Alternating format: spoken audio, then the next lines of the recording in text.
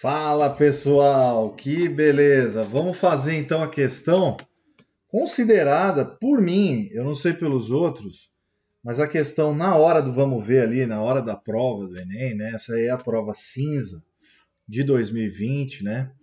Eu achei essa prova, essa questão difícil para quem não tem muita experiência.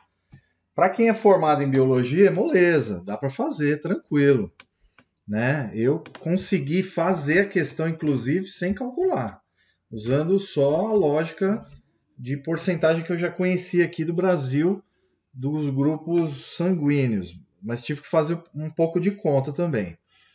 Mas é isso aí. Primeiro, dá para descartar já A, B, C quase, né? Só começando a questão, quer ver?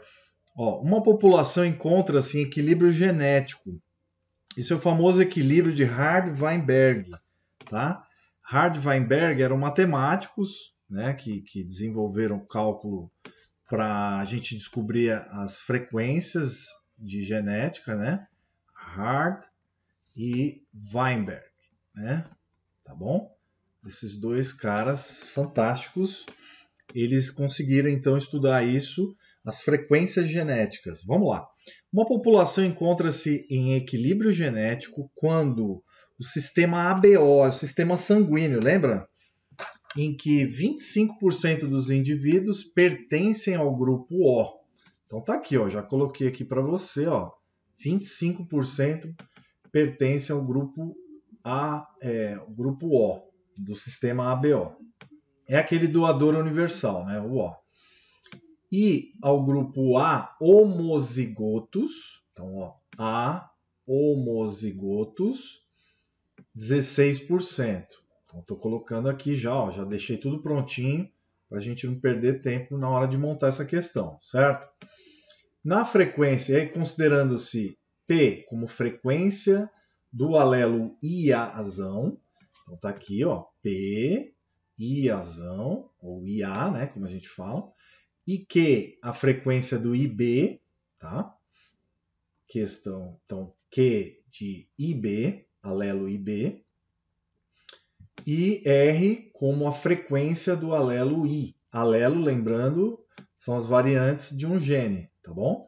Expressa-se, então, expressa-se encontrar, ó. Espera-se encontrar o quê? Grupo A, B, AB e O.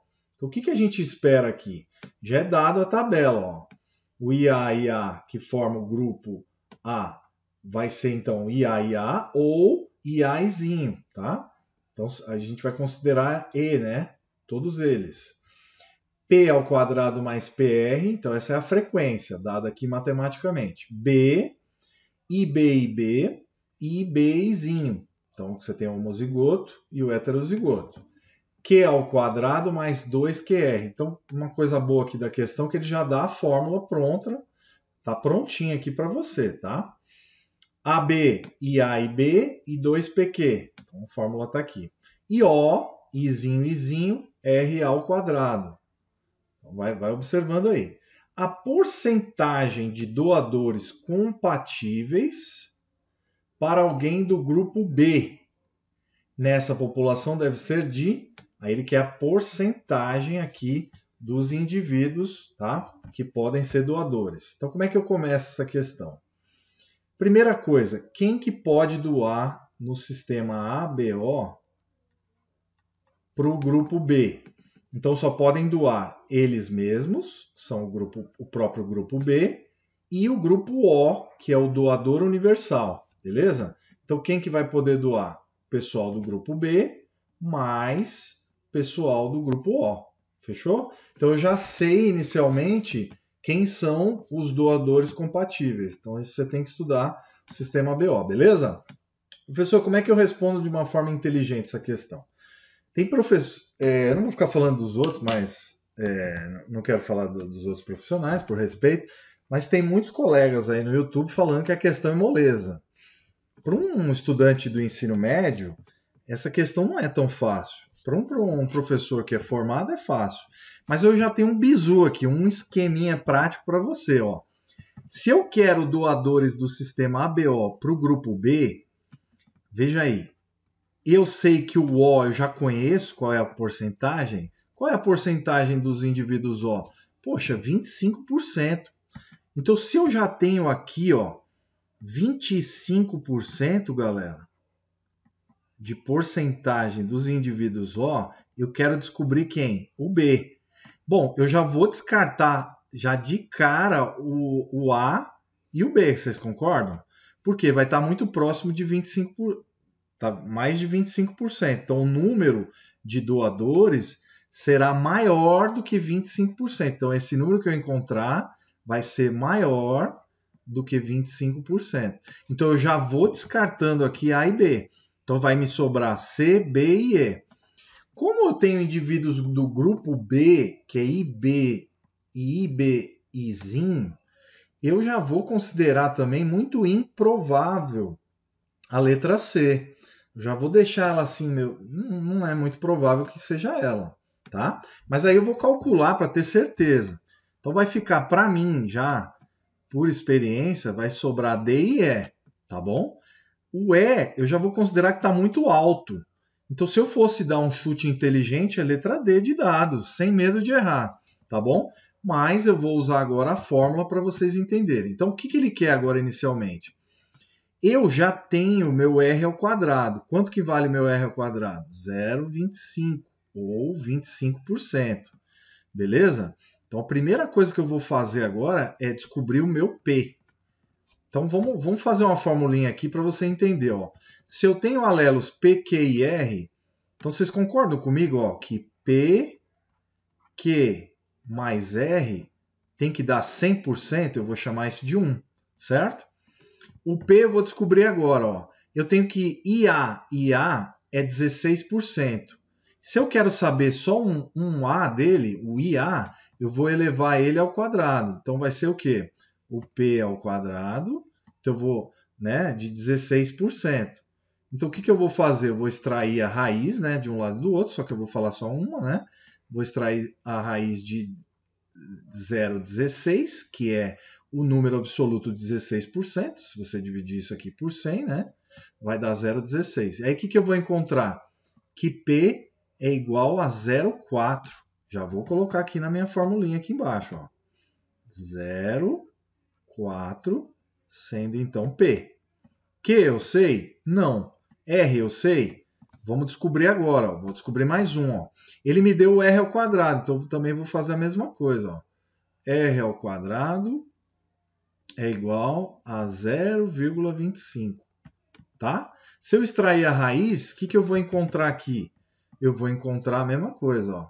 Eu vou encontrar a raiz de 0,25, eu vou encontrar que vai dar 0,5. Se você fizer as contas, você vai achar. Tudo bem? Então, beleza. 0,5. Professor, por que, que deu 0,5? Porque se eu decompor 25, ó, qual é o número que vezes ele mesmo vai dar 25? É o 5. Como eu tenho um zero aqui do lado, vai dar 0,5, certo? Se eu, se eu multiplicar 0,5 por 0,5, vai dar 0,25. Foi dessa forma que eu encontrei. Tá bom?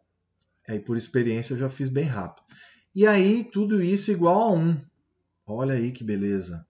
Quanto dá 0,4 mais 0,5, galera? Vai dar 0,9, concordam?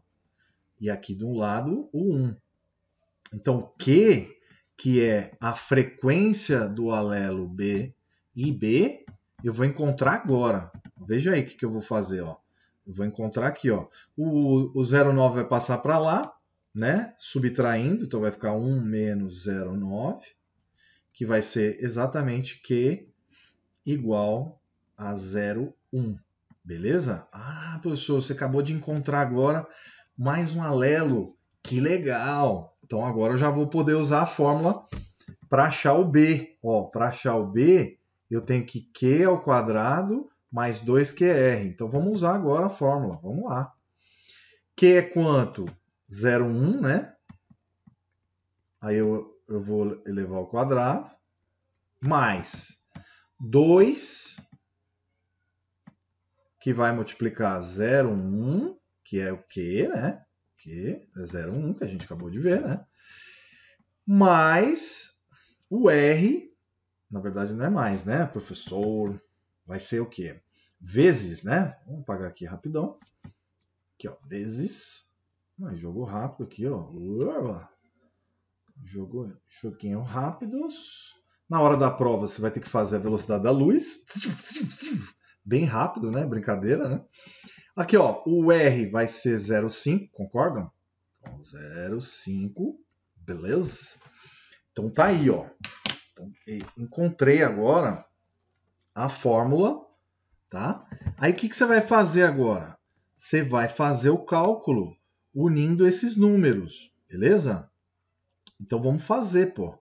Vamos lá, vamos ao que interessa. Vamos, vamos, vamos jogar na fórmula e vamos mandar brasa agora. Então vamos lá, ó. O que, que eu tenho aqui, ó? B. Se eu multiplicar 0,1 por é, duas vezes, eu vou encontrar 0,01 mais 2 vezes 0,1 vezes 0,5. 0,1 vezes 0,5, eu vou encontrar exatamente o que? Vamos fazer, né? 0,1 vezes 0,5. Aí, ó vai dar 5, aqui dá 0. Então vai dar 0,05 vezes duas vezes vai dar 0,01. Beleza? E aí, o que, que eu vou encontrar aqui então? Na fórmula. Aqui, ó, eu coloquei mais um, né? Zero, mas é só é só um zerinho aqui. Então vai ser cadê canetinha? Aqui vai dar 0,1, né? Tá? E aí B vai dar 0,0.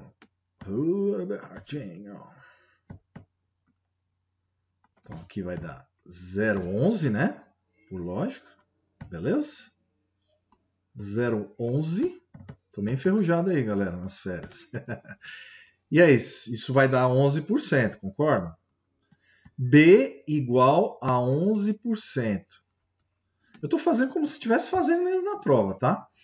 Então eu quero B mais O. O O eu já sei. Quanto que é o mesmo? 0,25. Então quanto que vai ficar minha conta aqui, ó? Vou colocar aqui no preto, fica mais fácil, ó. Aqui na, na parte mais escura. 25% mais 11%. Eu encontrei, encontrarei, então, 36% de grupos o quê? Doadores, tá? Para o sistema B, tá? Então, aqueles que vão poder doar, né, os doadores.